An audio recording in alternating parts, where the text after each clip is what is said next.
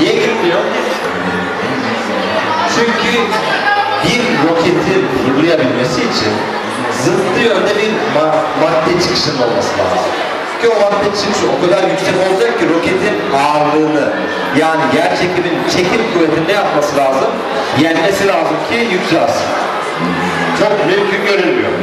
Onun için daha çok madde koymamız lazım. Yani daha çok hava koymamız lazım. Ben size hemen bir yardımcı getiriyorum. Evet. Bu arada lütfen kullandığım malzemeleri anneme söylemeyin. Bu elektrik süpürge borusu. Bu da Allah'tan bu boştu. Damacana. Şimdi. Bu bir daha büyük mü? Ciğerinizden daha fazla hava var mı? Normalde ciğerimizdeki havayı bir anda veremiyoruz. Ama bu ne yapacak?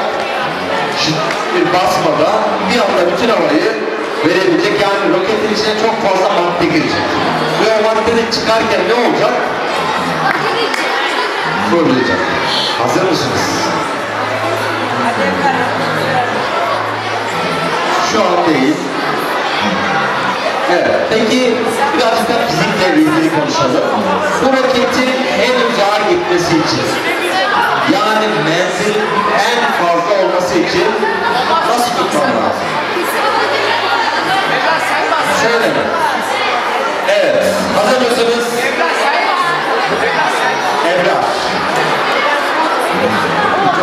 Sen düşme ama. Dur. Hemen basma.